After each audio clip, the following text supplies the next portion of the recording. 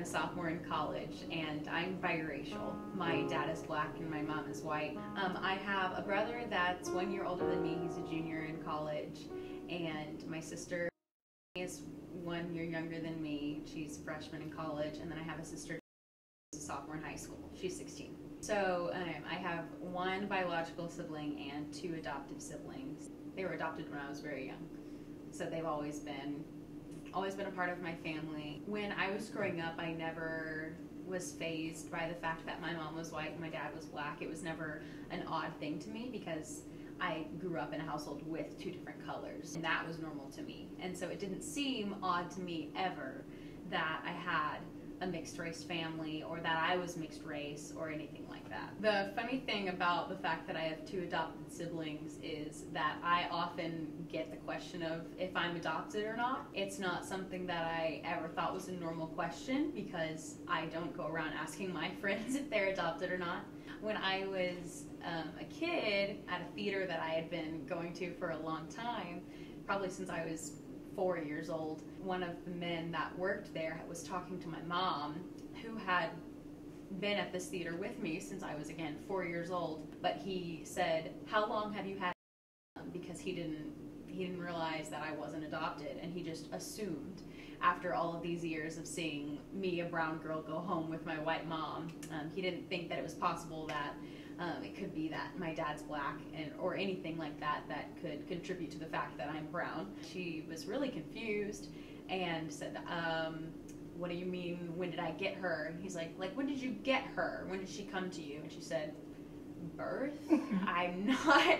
I'm not really sure what you mean. And he's like, "Oh, so you adopted her as an infant? Was it a surrogacy? You know, what what kind of adoption was that? And she's like, oh, you, oh, you think she's adopted? No, she's not adopted. I, I had her. She's my child. And my mom finally said, here, let me show you a picture of my husband. Maybe you'll understand then. And he was astounded. He was like, oh my gosh, I never even knew. I didn't know she had siblings. I didn't know she was biracial. I didn't know. And I was 14 at that point. And so it was, you know, he had known me for almost 10 years at that point. I thought it was funny when I first heard the story, I thought it was so funny. I was like, oh, that's so silly of him to think I'm adopted. Oh, how ironic since I do have two adopted siblings and I'm the one they think's adopted. I've been doing shows at this theater for almost 10 years and my dad comes to every single one of these shows and he never put the two together. It didn't offend me or anything at first. You know, when I first started getting those types of questions, it was more of like, uh, like, oh, how silly. They just don't know. And then when I was growing up, I got more questions like that.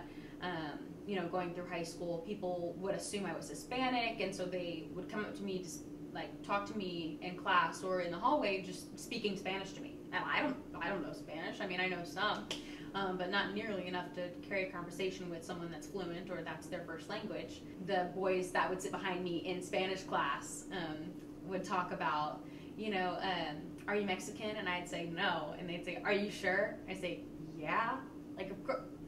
Am I sure? Mm-hmm. and so I would keep getting questions about that, or the people that would come up to me and say, what are you? And I say, what am I? What do you mean, what am I? And I, of course, know what they mean by that because I've gotten this question so many times. They mean, what race are you? Because they're curious. But instead of saying, what race are you? They shorten it down to, what are you?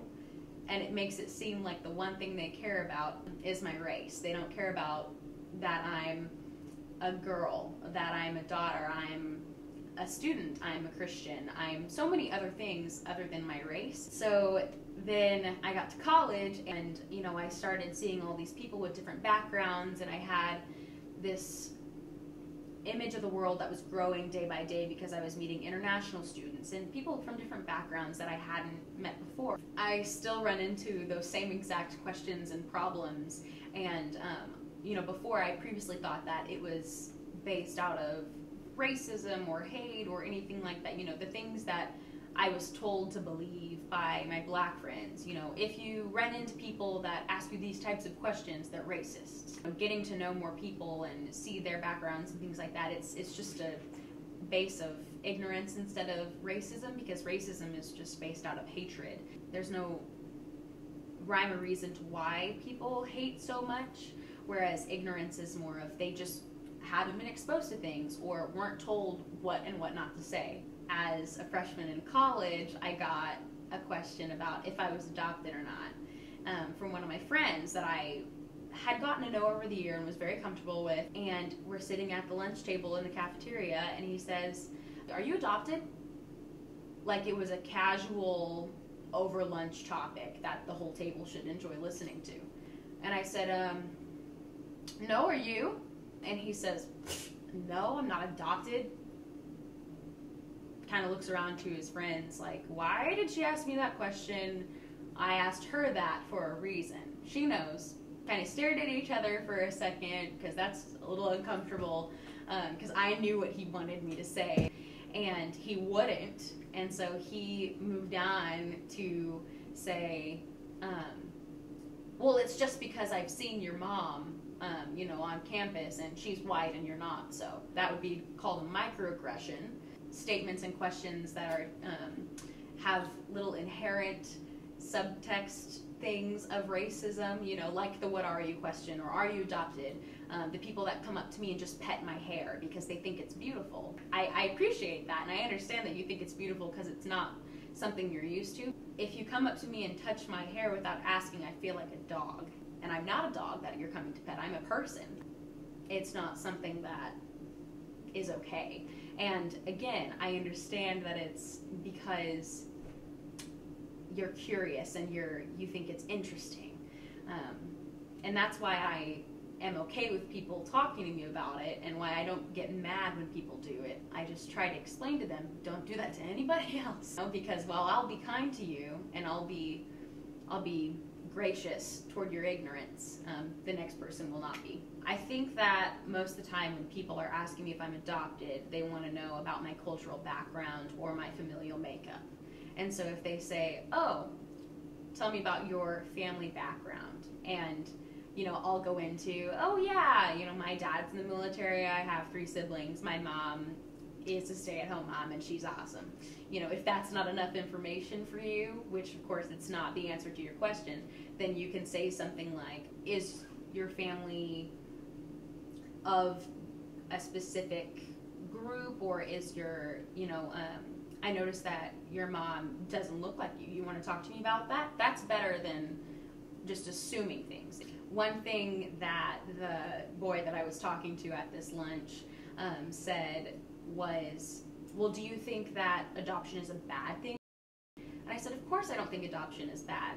And later on, I talked to him and said, If you really knew more about me, you would know that I do have two adopted siblings. And if you were to ask him that question, they would be incredibly washed over in emotion and memories of why they're adopted. That's not something you want to remind someone in the middle of a lunch table at a cafeteria. You should ask in a more private setting and things like that. Since my mom is white and my dad is black, I often get questions of, oh, so are you more white or are you more black? And I say, well, that's not a fair question because I'm half white and half black.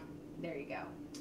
And they say, well, no, what do you identify with more? You know, are you more of a black girl or are you more a white girl? And I say, well, um, I don't know if anyone will ever believe that I'm a white girl because I have a year long tan. When I go to hang out with my black friend, they say things like, oh, well, Ashley's not really black, or Ashley's not this, Ashley's not black enough.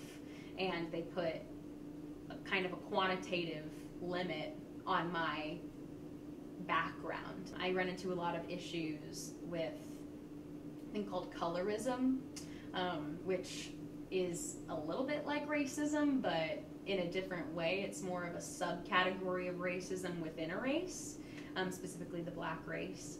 Um, there's a consistent trend, not just white versus black, but lighter pigment versus darker pigment. I've never, you know, run into exact racists that yell at me and call me bad words and are discriminatory toward me because of my, my tan skin and my dark hair. If anything, it's more like I, I'm excluded from both groups because neither of them identify with me, and so then it leaves me alone. Whereas I identify with both of them. I had to be my own friend a lot of the time. My dad has this dark, creamy skin that I've always thought was so beautiful, and I love I love putting my hand next to his because I love looking at the color differences and sometimes when my mom's around I'll put my mom's hand next to my dad's and my mom's hand next to mine also. And you know when I was younger I'd make jokes about oh we make a s'more because I'm the graham cracker and my dad is the chocolate and my mom is the marshmallow. You know you look at your dad and that's your first you know your first prince your first king and that's always who you make your perception of what a man is supposed to look like out of. I had never specifically attached the fact that my dad was black to my relationships i suppose. You know i just knew that i wanted a man that was successful a man that was godly you know very christian um, and a man that loved his family. Um, because those are the attributes that my dad has that I look up to a lot. Um, he works really, really hard to provide for our family, and he's very involved with our church, and he does a lot of things that I appreciate and I want in my husband in the future. Um, but the fact that he has dark skin has nothing to do with those attributes. When I was a kid, well, even now, um, people will say, "Oh, his dad's not really black; dad's white." you know, he just is black on the outside and white on the inside like an Oreo. Those are all the attributes that people attributed to being white, and that's why my dad wasn't considered really black. I always thought of that as a compliment. Like, oh my gosh, yeah, you're so right. My dad is all of those things that we attach to being white. And then when I started getting in college, I got a little offended by it eventually because that was not a compliment to then say that all black people in general weren't considered black if they were successful, well spoken, educated, involved.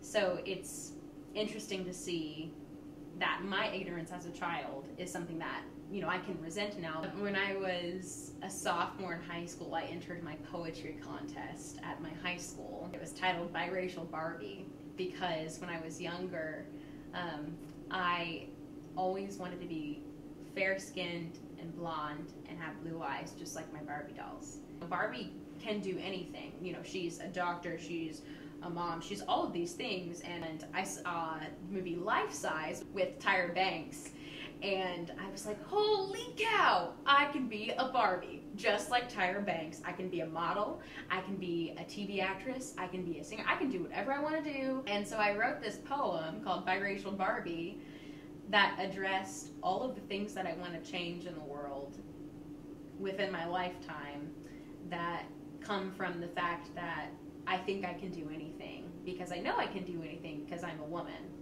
And I know that women can do anything when they put their mind to it. I knew that not only because I was a woman, but because I was biracial, I could be a Barbie too. And I was gonna be all the things that I wanted to be, just like Barbie. And that being biracial didn't hold me back from doing that, but in, in fact enhanced me and enhanced me as a person. It doesn't make me better than anyone else, it makes me more me. Thanks for coming to our discussion. I really enjoyed chatting with you today. I hope to see you in the next video. That's right, to be continued.